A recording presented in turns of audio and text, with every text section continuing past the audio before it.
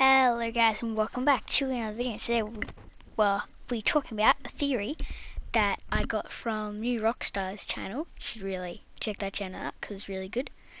Um, and it's about the Black Widow movie. And I wasn't gonna make a video about this because like the movie was gonna come out like next month, but now it's gonna come out in November because of the you know, COVID 19 or whatever I can say. Can I say COVID 19 or do I have to say, like, I don't know. Anyway, well, cool, because of that, you know, it couldn't happen. So I'm going to talk about it now.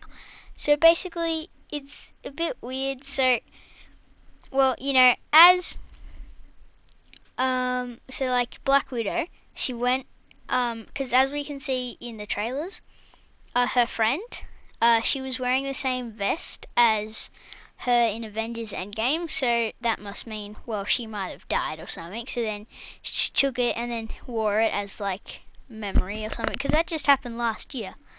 So, and I'm also guessing, oh, well, I also thought that because since um in the uh, trailer, General Ross, he has um like blonde hair, but then in the trailers, but in in like real life, and since in the Incredible Hulk, he's had um like grey hair, like he had like a grey moustache.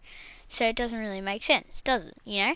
So it must have been time travel, and he looks like with all the general people, but that's because I think um. So Black Widow, she went back in time to the army place with Hank Pym, and then she she stole the leftover Pym particles, right? Then took them, and then um because when we in the trailer um she had she was like had something in her pocket, and it kind of looked like she was pulling out Pym particles out of her pocket. It kind of looked like that. So hmm hmm you know. So then maybe maybe she went back in time to um she went back in time to save her her friend, right? And become this like, you know, person who wears this mask and not shows their face, trying to defeat the Red Room people because they're really mean and they upset her as a child.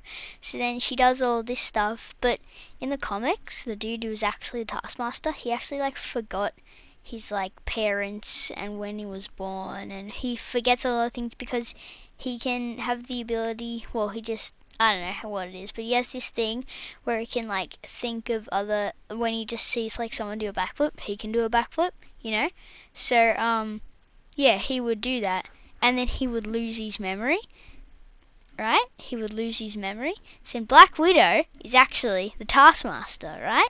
So she becomes that person and then she loses her memory so she doesn't know what's happening and then she tries to defeat Black Widow because she thinks she's a part of the Red Room because she was raised there.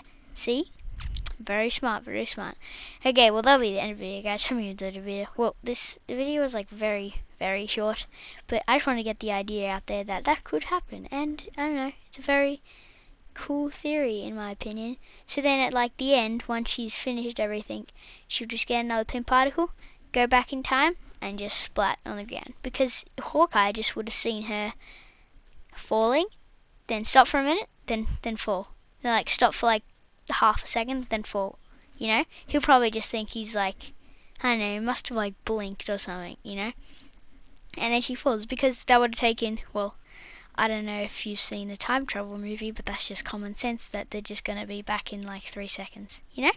So yeah, uh, I hope you enjoyed the video, guys. Hope you, uh, hope you enjoyed the video, guys. Like, share, subscribe, do whatever else. I'm a god. Don't forget to tell Bye.